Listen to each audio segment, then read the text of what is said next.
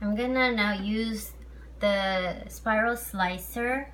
There's one side with the smaller slicing, the other um, bigger space, so it creates thicker noodle. I'm gonna try to use the smaller side with half of zucchini.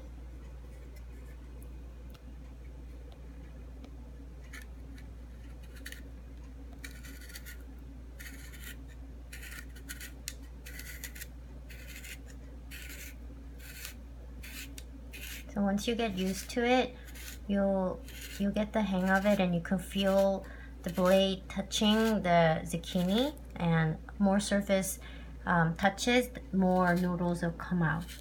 And what, once it gets closer to the blade, don't continue.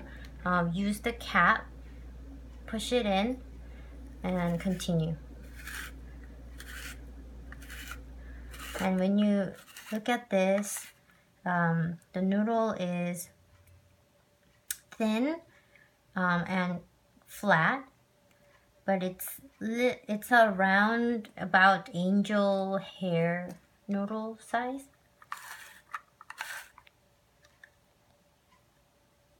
Okay, now I'm gonna try the other side to see the difference.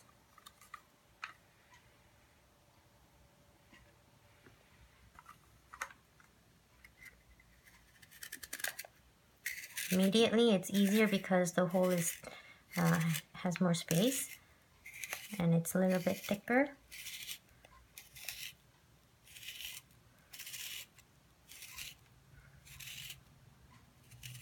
And it's really, really easy to push.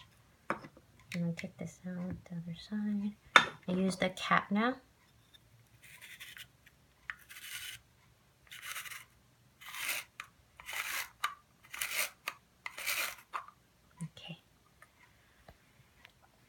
So there's a difference, thicker and thinner. I'm gonna try the carrots now.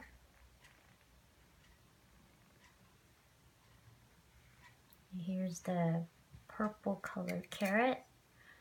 And since it's um, harder to make the noodle for uh, with the little harder strength, I'm gonna use the bigger